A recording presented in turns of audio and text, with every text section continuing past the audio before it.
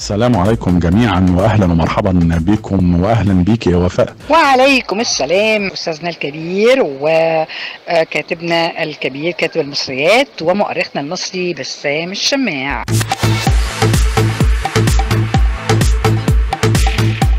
مرة تانية رجعت لكم بالمعلومات الأثرية والقصص والحكايات الموثقة عن حضارتنا العظيمة حضارتنا اللي علمت العالم حضارتنا يا وفاء اللي ما زالت لحد دلوقتي بتفاجئنا كلنا بتفاجئ الناس اللي بتقرأ بقالها سنين في التاريخ وبالتالي بيتاكد الجملة والعبارة اللي إحنا قلناها قبل كده أكتر من مرة.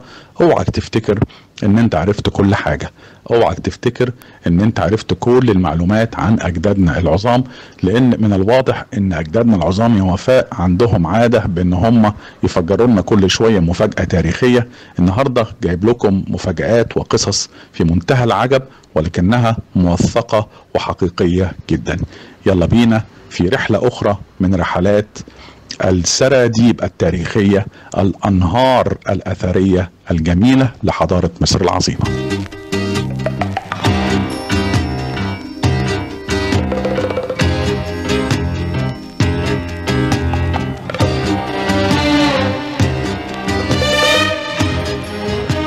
وبصحبة مؤرخنا المصري وكاتب المصريات بسام الشماع هنروح الكاب.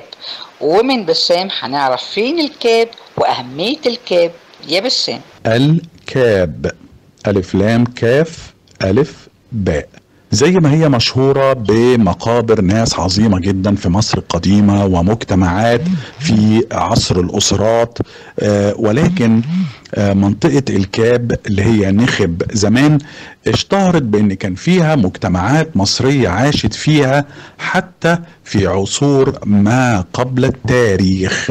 ما قبل التاريخ يعني قبل حوالي 3200 3300 قبل الميلاد يعني قبل توحيد القطرين يعني قبل كمان اختراع الهيروغليفية اللي إحنا بنشوفها معتادة في المقابر أو منحوتة على جدران المعابد. منطقة الكاب الأثرية المهمة جدا تاريخيا عندنا في مصر في الصعيد العظيم والكاب بالمناسبة بتتكتب ألف لام كاف ألف باء يعني زي الكاب كده اللي إحنا بنلبسه ولكن على راسنا ولكن الكاب هنا آه ما بقتش كاب بقى على الراس ده تاج مرصع بكثير من الياقوت واللؤلؤ التاريخي والآثار.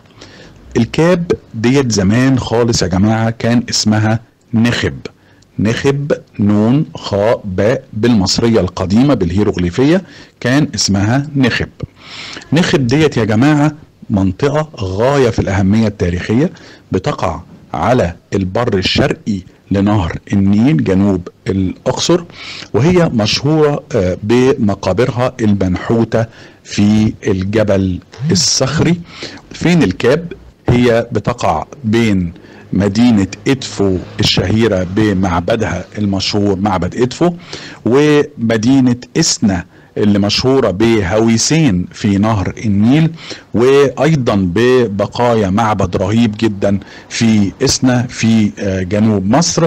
الكاب بقى دي يا جماعة اللي بنتكلم عليها النهاردة بتقع حوالي 32 كيلومتر جنوب إسنا وهي كمان في مصر القديمة كانت مدينة النسر المقدسة.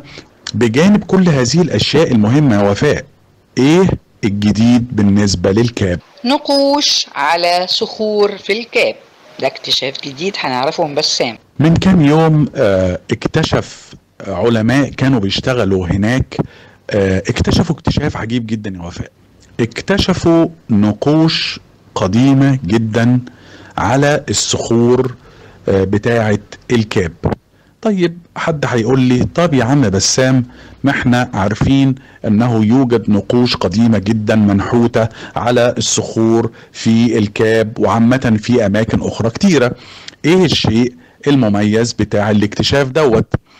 آه الاكتشاف دوت يا جماعة هز فكرة كتابة التاريخ لأن إحنا تملي كنا بنقول كل اكتشاف بيحصل بيعيد أو بيضيف فصل من فصول تاريخنا.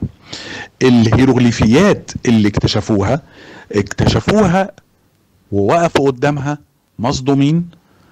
مفاجأة كبيرة غير متوقعة حتى أن عالم الآثار الأجنبي اللي كان شغال مع البعثات ومع الناس اللي بتشتغل قال جملة عجيبة جدا. إيه اللي ممكن يكون في الاكتشافات الأثرية صادم لعالم آثار كبير؟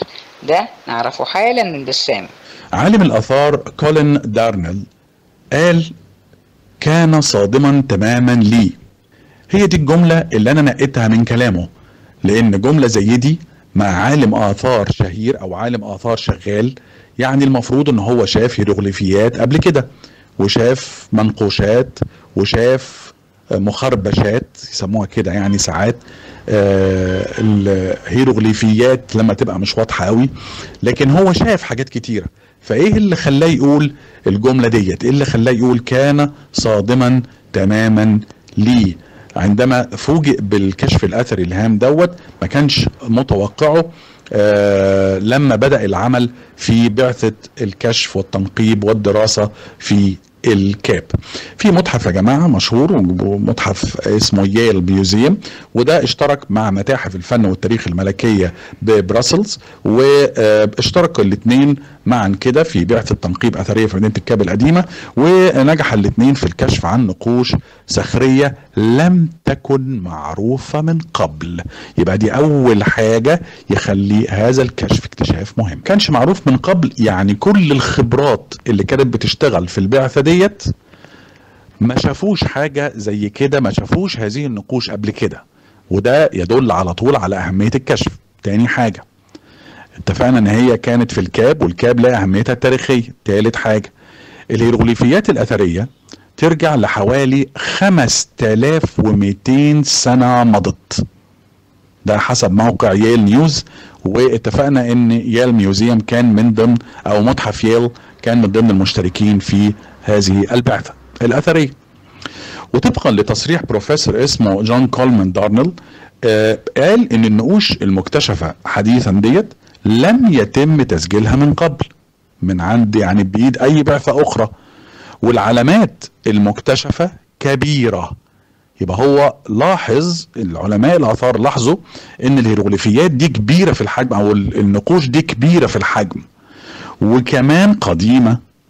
وبيقول إنها بتمد بالأدلة على كيف المصري القديم ابتكر آه نظامه آه المتفرد المتميز بتاع الكتابة.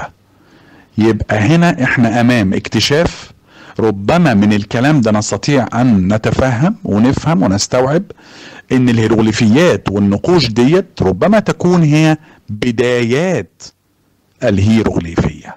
هنا بقى لازم نعمل وقفة أثرية حضارية كبيرة.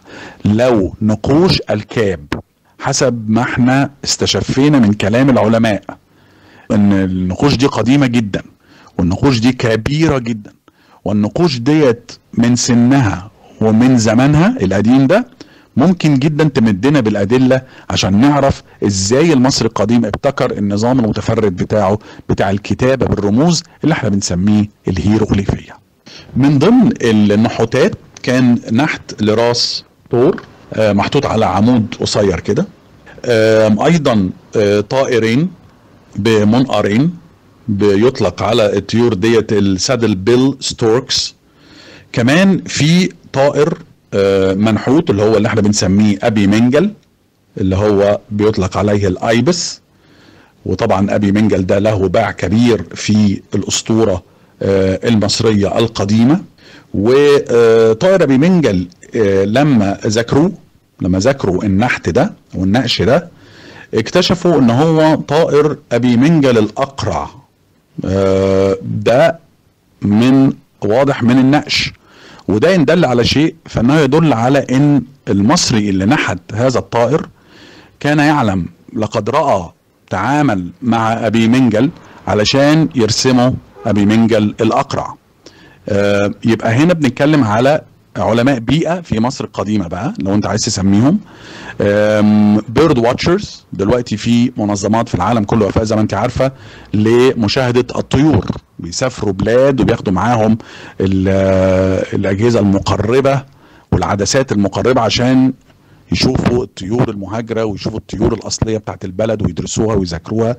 آه، يبقى المصري القديم هو من أوائل البشر في تاريخ العالم اللي درس الطيور وعرف إن ده أبي منجل الأقرع وناقشه آه، في هذا النقش العجيب في منطقة الكاب دي مش أول نقوش قديمة جدا تبان على صخور منطقة الكاب ولكن حجمها الكبير وموقعها المتميز وكمان الأشياء المتفردة اللي أنا شرحتها لكم بيخلي هذا الكشف على درجة كبيرة جدا من الأهمية.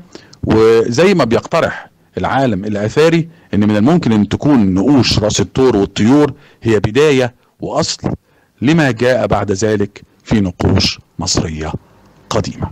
واكتشاف آخر مهم في منطقة الكاب أخيرا بقى واللي أنا يعني حبيت قوي آه إن أنا أتكلم عليه يا وفاء هو اكتشاف آخر مهم آه في منطقة الكاب هو منظر لمجموعة من الأفيال. إحنا بنتكلم على الكاب قلت لكم هي بتقع فين يبقى الناس دي شافت أفيال. اللي نحت مجموعة من الأفيال يعني شافها. شاف أفيال ماشية. يعني آه بالتالي فاذا هو بيحط بينقش على الجدران ما رآه في الطبيعة. هل بقى لها رمزية ملكية؟ هل لها رمزية مقدسة دينية أسطورية في مصر القديمة؟ هل لها علاقة باللغة؟ هل لها علاقة بالنقوش والفن؟ آه، كل ده آه، يتحط في قائمة الربما. لكن اللي أنا شفته بقى لذيذ في منظر لمجموعة من الأفيال واللي قالوا إن هي بترجع ما بين 4000 إلى 3500 سنة قبل الميلاد يعني زود كمان ال 2000 سنة بتوعنا بتوع بعد الميلاد دول ال 2017 عشان تكمل العدد بقى فده يدي لك عمق غير طبيعي. يعني 4000 زو قبل الميلاد زود عليها ال 2017 هنتكلم على منظر من 6000 وي سنة. متخيلين؟ لمجموعة من الأفيال في منظر بيبين فيلة يعني أنثى الفيل وده إحنا عرفناه أو أنا استشفيته من شرح العلماء للمنظر لأن هم بيقولوا إن الفيل اللي في المنظر ده اللي نحته المصري القديم جدا ده لقوا إن هو ناحت كمان نقش لفيل صغير جوه الفيل. وكأنه بيحاول يقول لنا من وجهة نظر متواضعة ومن وجهة نظره طبعا ربما يكون هذا هو المقصود من وجهة نظر العلماء أيضا إن ممكن جدا يحاول يقول لنا إن ده بيبي أو ده جنين أو ده فيل صغير جوه بطنها. لو آه، النظرية دي صحت يعني مش عايز أقول لكم قد إيه ده ممكن يحول الفكر بتاع علم الحيوان وعلم الأجنة والطب والتشريح الحيواني في العالم صح ولا مش صح؟ إحنا هنا بنتكلم على منظر من 6000 وي سنة بيحاول فيه النقاش بيحاول فيه الفنان بيحاول فيه هذا المصري العظيم إن هو يقول لنا إن هذه أنثى الفيل حامل وفي بيبي جواها فراح راسم أو ناقش الفيل الصغير جوه الفيلة الكبيرة. وده اللي فسره عالم الآثار اللي هو درنال آه، بأنها طريقة نادرة جدا لإظهار أنثى فيل وهي آه، حامل. ده اكتشاف رهيب يا جماعة. شفتم حضراتكم عظيمة إزاي؟